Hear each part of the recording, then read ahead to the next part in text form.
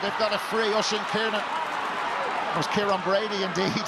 Lynch Brady launches it forward, and Paddy Lynch is the furthest forward. Beggan's out a goal. Paddy Lynch! That's it. They've sealed it. And what a performance from Paddy Lynch. A day of days for him and for Raymond Galligan and Cavan. They've come to Clones.